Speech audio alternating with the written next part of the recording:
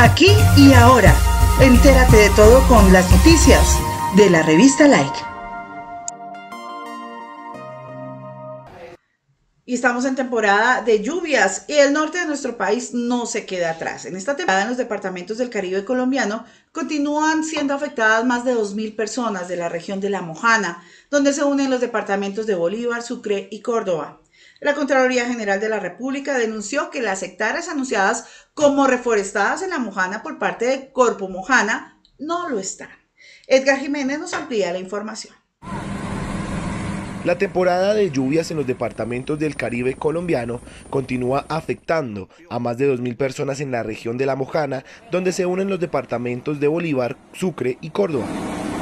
Perdimos marrano, perdimos ganado también porque todavía no se ha visto los animales todavía, ya directamente hay bestias ahogadas, de todo.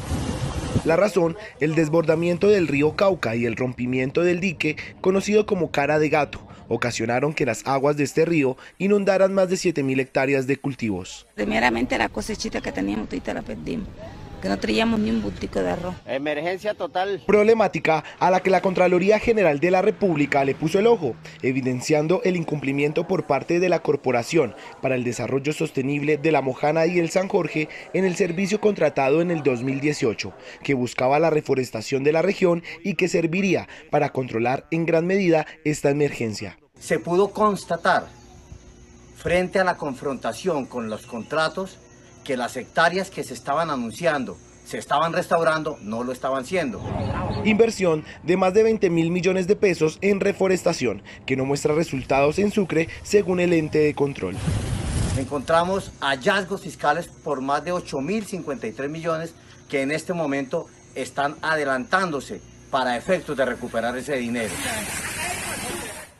La Contraloría Delegada para el Medio Ambiente inició un proceso de seguimiento preventivo y en tiempo real al tema, al tiempo que van avanzando las investigaciones fiscales de los hallazgos encontrados. Desde Bogotá informó Edgar Ramírez.